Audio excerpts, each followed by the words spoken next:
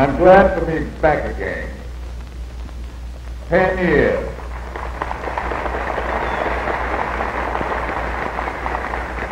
And I hope it won't be ten years before I come back for the third time. We've been awfully proud back in Washington, the United States, of what's been done here. One thing that has appealed to me very strongly, and that is the element of speed. We're going just about twice as fast in the Navy as we ever went before. And we can make it, and we're going to, even faster. Today we've got, without question, the largest and the best equipped Navy in the whole world. And that's something to be proud of.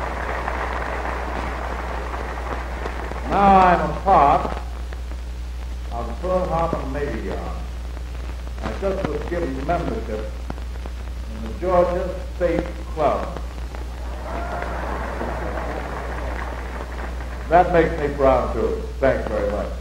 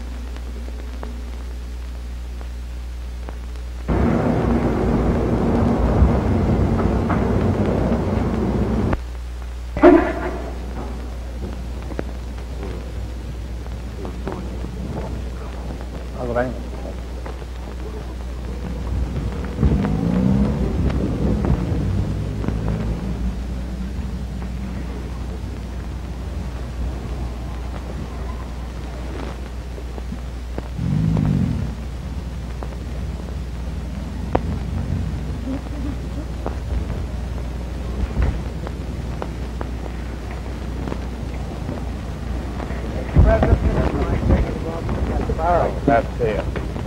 You get exactly words.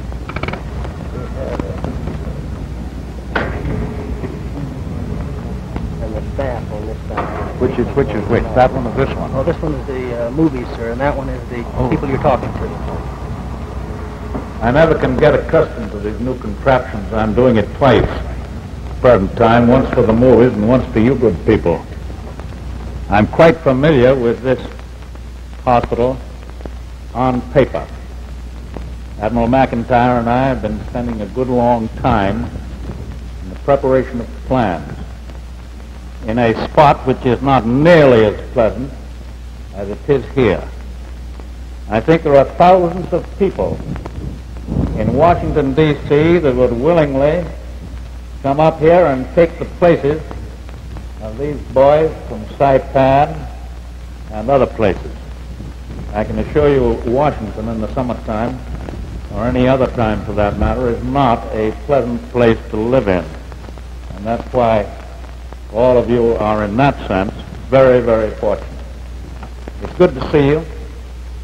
It's good to know the excellent service that we're doing in br- bringing people back who've been wounded or are sick in full health. It's something that has progressed enormously since I went through the First World War. I wish I could see everybody here.